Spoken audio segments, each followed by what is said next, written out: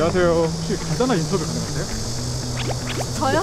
정말 간단한 인터뷰. 아, 네. 혹시 일상생활에 AI가 이런 거에 대해 도움을 주면 좋겠다 싶은 거 있으셨어요? 그 요즘은 핫플 같은 거 그냥 검색하면 바로 나오잖아요. 제가 직접 가보면은 막상 제 취향이 아닌 경우가 조금 있어가지고 AI가 제 취향에 맞게 여행 코스나 핫플 이런 데를 추천을 해주. 근데 이게 가능한가요?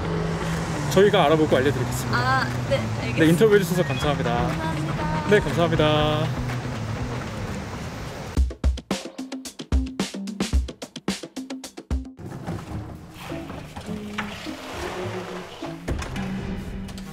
어? 언제부터 여기 있었어요?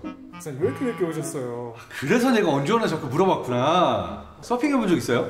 진짜 서핑 해보고 싶어요. 우와, 진짜 저도 버킷리스트였는데 재밌더라고요. 그럼 AI가 제 취향에 맞는 여행 코스를 추천해 줄 수도 있나요? 60초? 60초. AI가 취향까지 고려해서 여행 계획을 짜주는 게 가능할까요? 가능합니다.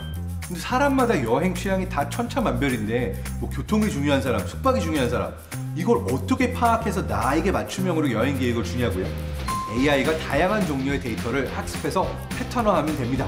어떤 지역의 사람들이 많이 놀러 가는지 지역 데이터, 그 다음에 나랑 비슷한 사람들이 어떤 사람들인지 인적 데이터, 그들이 어떤 맛집을 검색하고 어디에 가서 뭘 하면서 놀고 왔는지 선호도 데이터. 이 데이터들을 종합해서 deep learning 알고리즘이 나에게 맞춤형으로 여행 계획을 짜줄 수가 있는 거죠. 최소한의 데이터만으로도 내가 원하는 여행을 찾을 수가 있는데요 이 제안해주는 게 마음에 안 든다 내 마음대로 커스터마이징해서 내 취향을 더 넣을 수도 있고요 내가 여행 중에 어떤 행동을 좋아하냐 그 행동에 따라서 이걸 스토리의 형태로 풀어서 사용자별 성향이 다 다른 그런 계획을 제안하는 것도 가능합니다. 그래서 이젠 여행 업계도 AI 없이는 안 된다고들 하죠. 선생님 그래서 어디 다녀오셨어요? 하와이 필 하지 않아요? 국내 양양 다녀오셨죠? 양양 어떻게 알았어요, 양양?